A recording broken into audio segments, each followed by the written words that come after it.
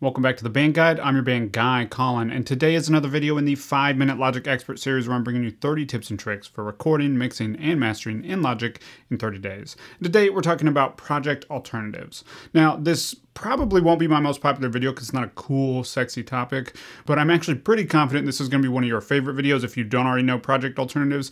And even if you do already know project alternatives, I'm going to share some ideas of how you can use them that will make this something that you use all the time. Out of all the videos in the series, this is going to be in my top handful of things that you're going to use constantly. So stick with me, you're going to love this video. But let's first talk about what exactly is a project alternative. Well, it is exactly what it sounds like. A project alternative is a different version of your song. So it's saving a new session file, but as opposed to saving a whole separate Logic session, that would be the entire size of a Logic session, could be two, three, four gigabytes, depending on how large your sessions are. Could be one gigabyte, who knows. But it could be a very large file. A project alternative doesn't really take up any more space because it's just telling Logic what to do with the audio that's already stored in that one Logic file. So this is huge for saving space on your computer. It's huge for uh, feeling free to delete things because you know you could pull it in from another project alternative if you needed to. It's just really freeing and gives you a lot of capability and saves you a lot of space on your computer. So let's jump into Logic and look at how to actually set up a project alternative. So a project alternative will be up under File, and you'll see here project alternatives. And you'll see I already have several here, and we'll talk about the ways that I use this in just a minute. But to do a new alternative, all you do is hit new alternative, and then you'll name it. We could name this example project alternative. And nothing happens after you hit save. You won't see anything change except the name up here. You'll see will now have that new name. So what I've essentially done is created a new version that if I wanted to go in and delete stuff or change the mix or like, you know, one thing I'll do is a, a, mix up, a vocal up mix. So I might have the same exact mix, but then I do a second version of it where I just turn the vocals up two decibels.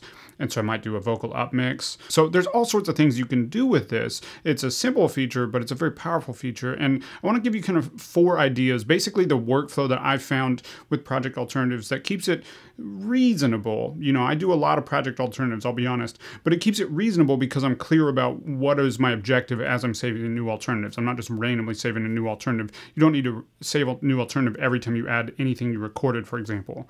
So pretty much for me, I try to leave the main session until I'm done recording all the main parts. If I need to import anything, I'll import those into a new session. So for example here, if we look at our project alternatives for this song, this is a song we're still working on. But One Look, Broke Royals, that is the name of the original session that has everything in it. I haven't changed that at all, so I, I don't touch that one at all. And then I cleaned it up. This is where I deleted things I didn't need, maybe consolidated some tracks, things like that. Uh, and then another guy sent me more parts, so I imported his parts, and now this is kind of my new like baseline mix, right? So this is keeping everything organized so I know, okay, the earliest I need to go back is this Benji import setup because that's going to be after I have all the parts from Benji.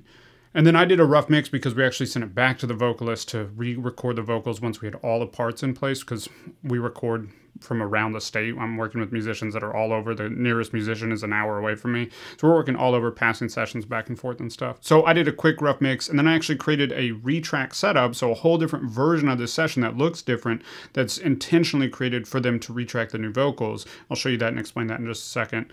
That's kind of the third slash fourth thing. So this first version is basically just for your cleaning and arranging. And with it, I really, really encourage you to always have the original version where you know you have everything so you can delete other things freely because you know you could always pull it in from another version, another project alternative if you need to. And if you don't know how to do that, we're going to talk about that in tomorrow's video. But that's the first way. The second way is then for mixes. So here I have a rough mix, but honestly, this mix is likely going to be more or less completely zeroed out. I might save a few things if I really love what I did there, but for the most part, it's going to be zeroed out when I start proper mixing. So then I create a version called Mix Setup, and that's the second way that I use this, which is to always be able to go back to a specific setup for my mix. That way, if I get to a point with the mix, I'm like, I'm really not happy with this, and I just want to start this mix over. I don't have to undo everything that I've done to get back to it. I can just go back to that mix setup, and that's going to put me back, and I can go and start mixing. So I could start mixing again in 30 seconds as opposed to having to delete everything and undo automation or whatever craziness. I could completely start and start fresh on a mix with like little to no setup, right? So I create a mix setup. So the first thing is like setting up your session. The second way is setting up for your mix. The third way is your different mix versions as you are doing revisions, as you're trying out ideas, things like that. So sometimes if I'm want to try something kind of crazy and I'm not sure if I'm going to like it, I'll save a version and then save a new version that's going to say like distorted drums cutting out in chorus or something like that where I drastically changing things in the song and that way I know if I don't like it, I can just go back to the version right before it and I can always use that alternative. So for all of your mixes, that's three. And then four is for this Vox retrack setup type of thing. So this is if you have a different type of setup that you want to set up. So here we're using it to specifically retrack the vocals. I'm going to show you that session in a second. But another way you might do it is if, let's say, you want to do an electronic version and then you want to try an all acoustic version, then you want to try like different versions, but you want to keep some of the key elements from your original song instead of like pulling them into a new song, you can create an alternative here and then save it. If we look up here, export alternative as project, we can then save that alternative, just that one alternative, as a whole new session. It will have all the audio and all the information built into that session, but it'll be smaller and we'll have started from inside this session, so it's easier to set up as opposed to pulling things in from another session, at least in my opinion. Okay, let's look at that project uh, Vox retrack setup real quick. Okay, so here's that session, and it looks very different than the other session that we were in because the goal here, I just wanted to have my rough mix and then all the vocals that she'd recorded previously, or they'd recorded, it's two vocalists on the song, so that they could compare the new vocals that they're working on to the old vocals that they'd already recorded and see if they like any of those takes better, if they want to pull inspiration, anything like that. But they don't need the entire mix in there that I've done that has all sorts of processing on it. I wanted the smallest possible session here for them. So this session is just the instrumental mix that I did, the rough mix that I did, and then their vocal tracks so that they could compare to them. And that's it. That's all it is. But because everything is lined up here in the same way, the same physical location, as they record to this, I will I can then pull those tracks back into my alternative so I can just have one session for me. I can import everything that they add to this session back into mine. So we're going to look at that in tomorrow's video because that's really helpful.